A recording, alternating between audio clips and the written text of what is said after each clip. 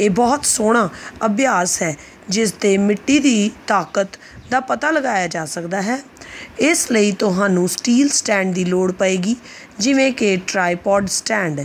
ਇਹ ਗੋਲ seat stool ਦੀ ਬਣੀ, ਬਣੇਗੀ, ਜਿਸ 'ਤੇ ਬੰਦਾ ਬੈਠਦਾ ਹੈ। ਇਹ ਇੱਕ ਬੇਸ ਪਾਈਪ ਹੈ, ਜੋ ਕਿ ਅੰਦਰੋਂ ਹੌਲੋ ਹੈ ਅਤੇ ਸਟਰੀ, ਸਟੀਲ ਦੀ ਬਣੀ ਹੋਈ ਹੈ। ਇਸ 'ਤੇ ਤਿੰਨ ਲੱਤਾਂ ਜੁੜੀਆਂ ਨੇ। ਇੱਕ ਨੈਪਕਿਨ ਲਵੋ ਅਤੇ ਰਬੜ ਬੈਂਡ ਦੇ ਨਾਲ ਇਸ ਦੇ ਪਾਈਪ ਦੇ ਬੇਸ ਨਾਲ ਜੋੜ ਦੇਵੋ। ਇਸ ਦਾ ਮਕਸਦ ਬਸ ਮਿੱਟੀ ਨੂੰ ਥੱਲੇ ਡਿੱਗਣ ਤੋਂ ਬਚਾਏ। ਪਾਈਪ ਨੂੰ ਵਰਟੀਕਲਰ, ਵਰਟੀਕਲ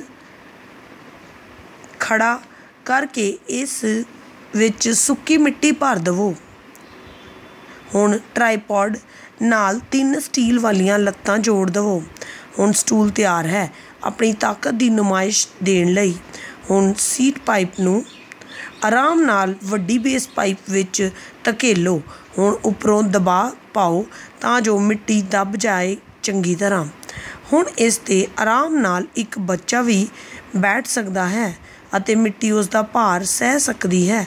ਨੈਪਕਿਨ ਦਾ ਕੰਮ ਸਿਰਫ ਮਿੱਟੀ ਨੂੰ ਡੁੱਲਣ ਤੋਂ ਬਚਾਉਣ ਲਈ ਸੀ।